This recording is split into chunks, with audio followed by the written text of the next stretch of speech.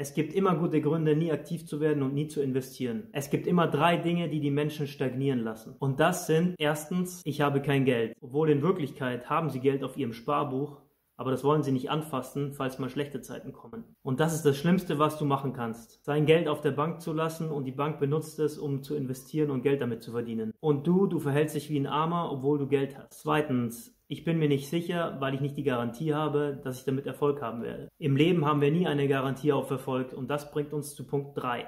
Und das ist die Angst. Wir haben tatsächlich immer Angst, in Aktion zu treten, Angst zu versagen. Der Denkfehler ist, die Angst geht nie weg. Der Fehler lautet, in Wirklichkeit lässt du die Angst dein Leben bestimmen. Und das sind die drei Dinge, die dich davon abhalten, reich zu werden. Passives Einkommen zu generieren, zu investieren, hier, jetzt, sofort.